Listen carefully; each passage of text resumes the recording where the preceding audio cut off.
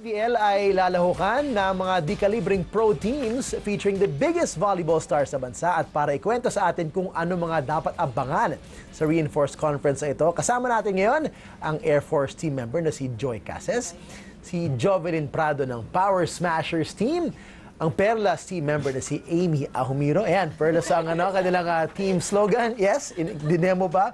Si Eliza Eroa ng Bali Pure. Andito rin ang Pocari Sweat Star na si Melissa Gohing at ang pambato naman ng bagong team na Creamline na si Eliza Valdez. Girls, welcome to the score. Good evening. Thank you all for joining us today. Okay, malapit na malapit na magsimula ang ah, ang bagong pangalan na naninibago pa ako. It's now the PVL.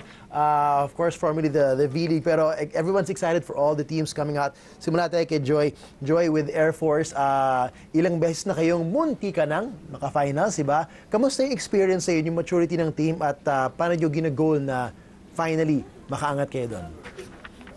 Um, masasabi ko na lang na medyo mas nag-mature yung team Okay. kasi hindi lang naman din yung yung V-League noon yung naging liga namin na sama-sama kami. So, ngayon mas excited kami ah, kasi may mga bago din kaming mga kasama sa lineup. So, Okay. yun. Mas enjoy kami ngayon. Kamusta naman yung pagsali na iba may, may mga bagong teams? Ah, mas mahirap ba na dati mas kilala niyo yung mga kalaban niyo? Dagdag challenge din ba yun sa inyo? Oo naman, kasi ano, um, ibang pangalan din yung dala-dala nila and yung iba nag-shuffle din eh, napunta rin sa mga ibang team. So, nakaka-excite din. Alright, uh, let's go to Jovelyn naman ah, na ah, well, first of all, congratulations. Ngayon lang kita nakita after Aureliana's uh, win. Congratulations. Hindi madali yung ginawa mo, ah, yung ginawa ninyo. Um, kamusta? Kamusta yung momentum for you individually? Kamusta yung, yung confidence boost na yun na nag-champion kayo and now sa iyong professional career? Ah, masaya po.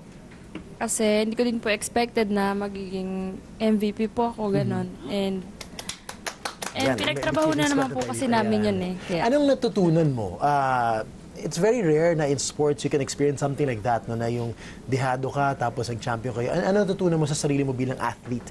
Na sa tingin mo nakapag-mature pa sa'yo na ngayon magiging, you know, to, to help you in your professional career pa? um, parang mas nag-mature lang po ako.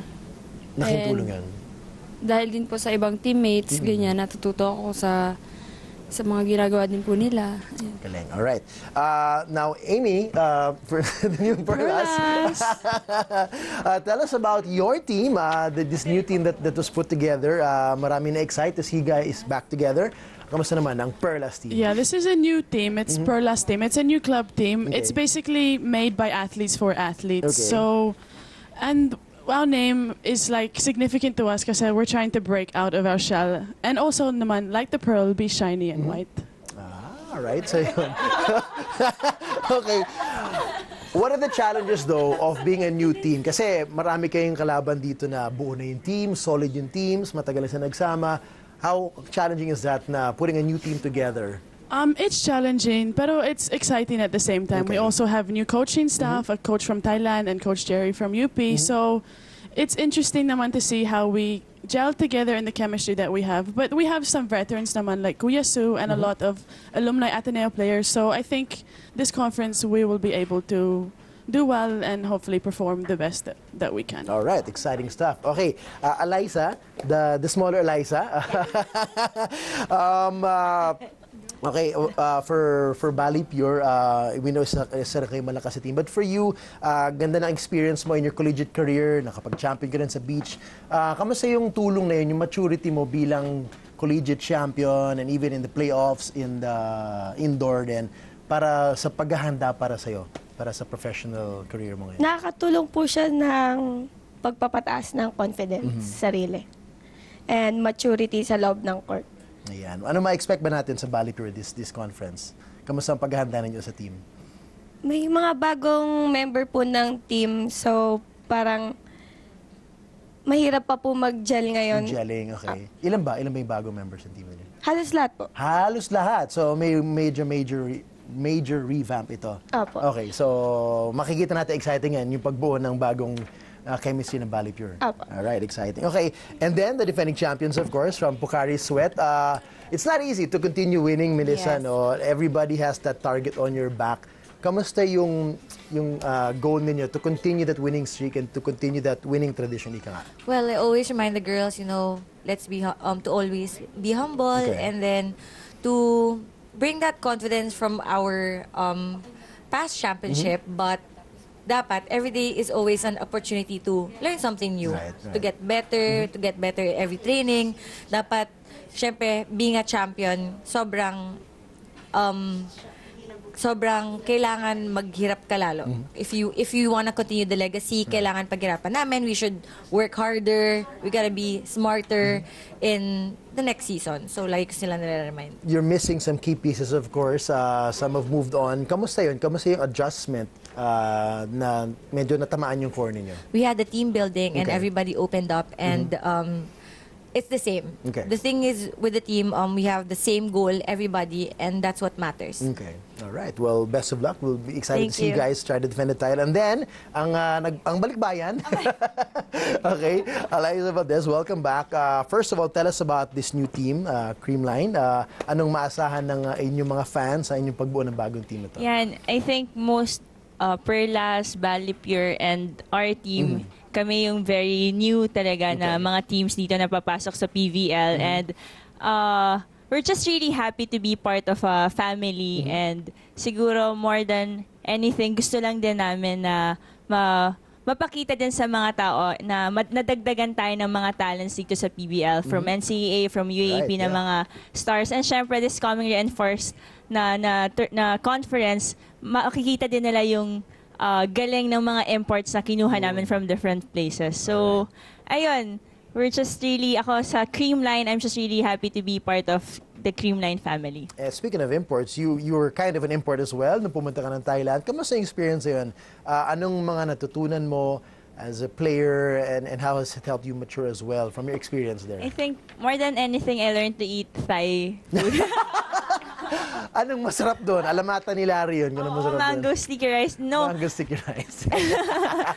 Pero definitely, siguro, uh, I really witnessed a lot of uh, amazing players, Okay. uh, legends in, in, in, in volleyball na nakapaglaro na sa mga qualifiers ng Olympics. So, that is just really a solid inspiration and motivation for me para mag, mag pursue pa and to push myself pa na to be a better volleyball player. And siguro, being alone also in Thailand, din eh. Yun yung challenge also for me to be a, a stronger individual uh, inside and outside of the court as well. Pero malaking tulong yung mango sticky rice. Yes, mango Sarap. sticky Nagugutom rice. tuloy ako. Okay. Uh, speaking of reinforced conference, Amy, I wanna bring this back to you a bit. Uh, kamusta yung experience of being with you know foreign imports and foreign players? How does that help? Uh, well, one, boost the team's uh, competitiveness on the court, but as well development of the local players and learning from them as well. I think it's all like it helps also, but it we have to adjust but into Correct. them because they're coming from different systems and we have a system here and they have their system here. Mm-hmm. So we both I think they learn of us and we learn of them talaga. Okay. And it's just they give more experience and more Yeah. Mm-hmm. insight to the game which is good here because it's always good to get different perspectives naman and from there we try to mesh naman what they bring and what Mm-hmm. we bring and hopefully we can you know bring it bring it bring it bigger Right. and do something bigger and perform like in perform higher. Melissa, as a veteran then, kamusta yung experience in playing with imports um, when they come in and they bring in so much experience and size as well, no? How does the game change for you guys kapag nandun sila? The good thing about having imports is they inspire us as well. Okay. They want they raise the bar of of the competition in the league and then kung ikaw local ka, you'll be against with imports. Sobrang matcha-challenge ka, you're gonna challenge yourself. Oh, oh like for me as a libero, oh kailangan maputo ko to, kailangan Right, makuha yeah. ko to. Oh. It gives me confidence as well. So sobrang perfect that the na nauna yung reinforcement conference of all Filipino. Okay. So it gives it gives it boosts the confidence of the Yeah. local players to the all Filipino. So lalong tataas yung competition. And then it's really inspiring to have imports and they share us their stories because imports also go around the world. That's so they share their right. experiences. Yeah, oo. So it's very inspiring. Eliza, lastly, tanong kita, sa mga nak- nakasama mo na imports rin and from you've heard from other imports, anong masasabi nila about Philippine volleyball? Uh, what is their comment about the, the, the current state of volleyball, the fan base, everything, all that? put I think they're, they're really, uh, siguro, it's shocking for them to see a lot of play, ay, a lot of uh, Filipinos are watching volleyball and supporting all the ladies sa sa in terms of uh, kasi they know na basketball is one of the most popular sport here in the Philippines but nagugulat sila pag nakaka-encounter sila ng mga tao sa labas and nagpapapicture din sila and they really love it na kasi na-appreciate nila yung sport, yung mga imports. But I think more than uh, playing here sa Philippines and sharing all the things that they they know about volleyball and sharing all the knowledge they know. They really enjoy it here because Philippines is really a nice place and the Filipino are very hospit- hospitable and that's why they keep on coming back and that's what we like and we want also for for us to learn from them and we get to learn a lot from them talaga. All right, well, uh, I'll leave it to the defending champs. Invite the viewers. Kailan na ba simula uh, ng PVL at uh, anong maaabangan nila? Iniimbitahan ko po lahat po ng mga volleyball fans. Malapit na po ang PVL at at at sobrang excited po kami maglaro. And I hope to see you guys. All right, all these six teams, we're all excited to see you all. So congratulations on uh, mounting a very exciting reinforced conference and we'll see you on the court. Salamat. Thank you, girls. Thank you. All right, susunod. Guys, keep watching The Score for the latest sports updates and don't forget to subscribe to the ABS-CBN Sports in Action YouTube channel.